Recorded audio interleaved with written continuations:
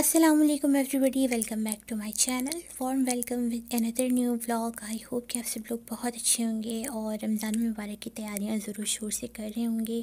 और मेरी तरफ़ से तमाम उम्मत मुस्लिमा को, जहाँ जहाँ मुसलमान हैं और जो जो ये मुसलमान वीडियो देख रहे हैं, उन तमाम लोगों को मेरी तरफ़ से बहुत बहुत रमज़ान मुबारक। अल्लाह पाक इस रमज़ान के सदक़े से हम पर आने वाली तमाम मुसीबतों, आफतों, बलाओं को ख़त्म करे और हम सबको सेहत वाली, ईमान वाली ज़िंदगी दे। आमीन। तो जनाब, यहाँ सऊदी अरब में तो आज पहला रोज़ा हो चुका है। पहली सैरी हम कर चुके हैं और ये वीडियो है पहली अफ्तारी की जो कि बहुत ही सिंपल मैंने बनाई थी आज क्योंकि पहले मैंने आ, कोई प्रिपरेशन नहीं की थी स्पेशली फूड्स के हवाले से। और कोई भी चीज़ मैंने बनाकर फ्रिज में स्टोर नहीं की थी। तो आ, बस आज मैं बहुत सिंपल सी अफ्तारी बना रही हूँ इन ताला फिर जो फ़र्दर प्रिपरेशन होगी उसकी वीडियो मैं आपसे नेक्स्ट व्लॉग में शेयर करूँगी। तो आज मैं अफ्तारी में बना रही हूँ आलू के पकौड़े मिक्स पकौड़े और फ्रेंच फ्राइज़ और एक्चुअली हम दो फैमिलीज़ मिलकर अफ्तार बना रहे हैं। तो ये चीज़ें मैं बनाऊँगी और जो बाकी की चीज़ें हैं जिसमें चना चाट है और पापड़ वगैरह ये सब चीज़ें हैं वो आ, मेरी पड़ोसन बनाएँगी।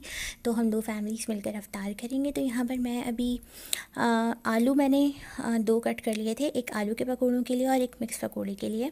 और ये मैंने प्याज कट करके रख ली है एक मैंने हरी मिर्च बड़ी वाली ले ली थी।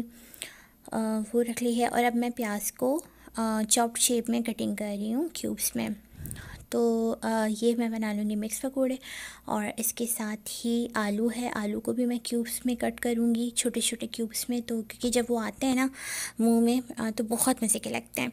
और पकोड़े डिफरेंट डिफरेंट स्टाइल के बनते हैं। हर किसी का बनाने का स्टाइल और तरीका अलग होता है। लेकिन पकोड़े तो अफ्तारी की जान होते हैं।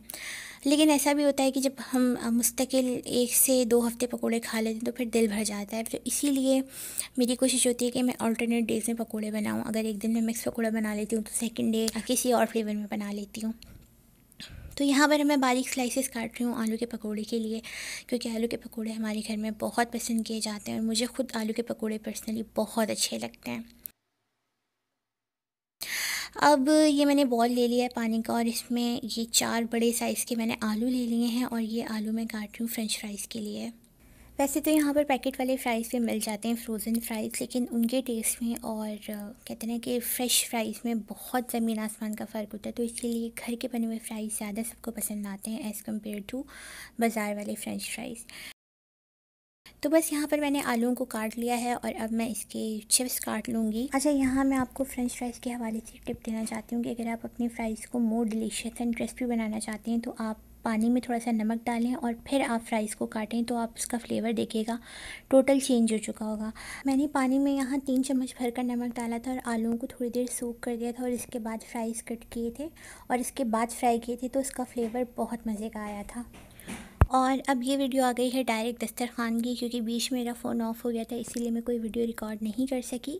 तो ये जनाब आज की हमारी सिंपल सी अफ्तारी है, जिसमें आलू के पकौड़े और मिक्स पकोड़ा फ्रेंच फ्राइज़ चना चाट फ्रूट चाट और दो तरह की शरबत है और खजूर थी साथ और इसके साथ दो तरह के पापड़ भी थे। तो बस ये था आज का मेरा सिंपल सा ब्लॉग और सिंपल सी अफ्तारी की अपडेट तो आई होप कि आपको ये वीडियो अच्छी लगी होगी। अच्छी लगी तो लाइक कीजिए चैनल को सब्सक्राइब कीजिए और साथ में जो घंटी का बटन है उसे भी प्रेस कर दीजिएगा ताकि मेरी हर वीडियो की नोटिफिकेशन आपके पास सबसे पहले पहुँचे। अपना और अपने प्यारों का बहुत सारा ख्याल रखिएगा। और ये वीडियो एक और ऐड कर रही हूँ जो कि अफ्तारी के बाद की है, जो कि आजकल रूटीन का हिस्सा बन चुकी है तो बस आज के लिए इतना ही। अब इजाज़त चाहूँगी। इन नेक्स्ट वीडियो में आप लोगों से मुलाकात होगी। तब तक आप सब लोग अपना बहुत सारा ख्याल रखें और साथ में रमज़ान को इन्जॉय करें। रमज़ान मुबारक। अल्लाह हाफ़